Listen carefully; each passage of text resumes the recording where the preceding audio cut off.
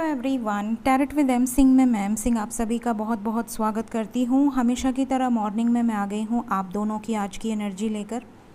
देखते हैं collective level पे आप दोनों की आज की एनर्जीज़ क्या निकल कर आती हैं। तो इस डेक को मैं करूँगी रैंडमली टू पार्ट्स में डिवाइड और हम देखेंगे आपकी एनर्जी और आपके पर्सन की एनर्जी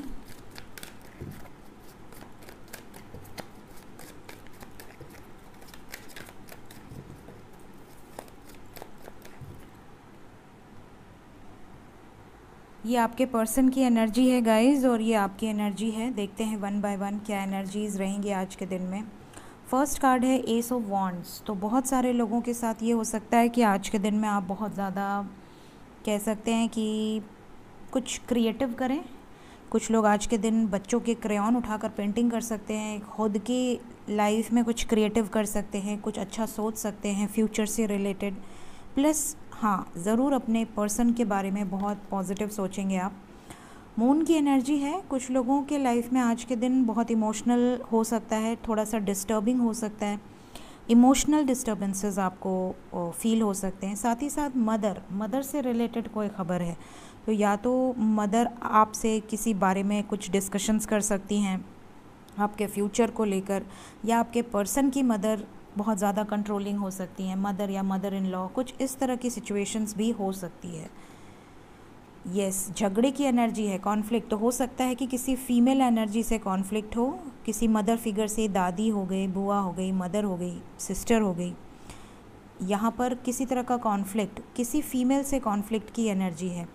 साथ ही साथ आज के दिन आपको गुस्सा बहुत जल्दी आएगा क्योंकि आप ऑलरेडी इमोशनली थोड़े डिस्टर्ब हो तो जब इंसान जो कहते हैं ना घायर शेर और ख़तरनाक होता है। तो ये जो एनर्जी है, ये ऐसा है जैसे कि आपके ऊपर ऑलरेडी बहुत इरिटेशन है फ्रस्ट्रेटिंग एनर्जी है और इस समय अगर किसी ने आपको छेड़ दिया तो आप उसको छोड़ेंगे नहीं। ये वाली चीज़ें हैं। नाइट ऑफ़ कॉइन्स बहुत टाइम से आप बर्दाश्त कर रहे हैं कुछ चीज़ों को, बहुत समय से हो सकता है कि वो अब बर्दाश्त की जो सीमा है वो पार हो सकती है। तो यहाँ पर कुछ लोगों के लिए आज का दिन थोड़ा सा थ्रोट चक्रा यहाँ पर बहुत हाई हो सकता है। सोर्ड्स की एनर्जी है कम्युनिकेशन पे ध्यान दें, कठोर वाणी हो सकती है। फोर ऑफ़ कप्स कुछ लोगों को ऐसा लग सकता है कि इनके लाइफ में कुछ भी सही नहीं हो रहा है। सबकी लाइफ में ठीक हो जा रही है, चीज़ें ख़राब हो रही हैं, फिर ठीक हो जा रही हैं।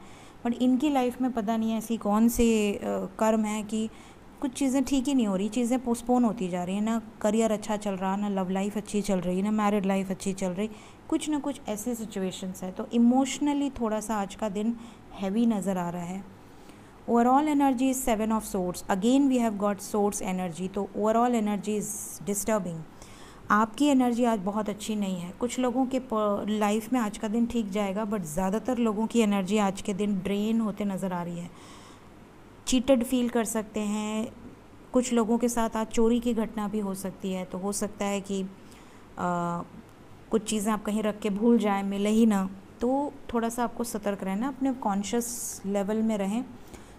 ये नहीं कि आप किसी के प्यार में बिल्कुल ही डिस्टर्ब हो गए ऐसा ना करें बिल्कुल। अपना ध्यान रखें self love is very important आप फिट रहेंगे आप अपने आप से प्यार करेंगे तो ही आपके अंदर प्यार की भावना जागृत होगी दूसरों के लिए और दूसरों से भी आपको मिलेगा।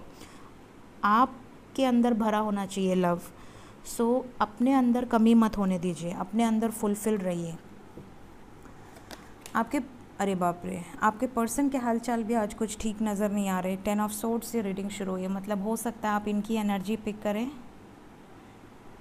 यहाँ पर इनके भी हालचाल आज ठीक नहीं है। किंग ऑफ़ वॉन्ट्स आपकी तरफ़ एस ऑफ़ वॉन्ट्स था, इनकी तरफ़ किंग ऑफ़ वॉन्ट्स हैं तो जो लोग कांटेक्ट में हैं, जो लोग बातचीत कर रहे हैं, उनकी एनर्जी काफ़ी बैलेंस्ड है। सुकून में है।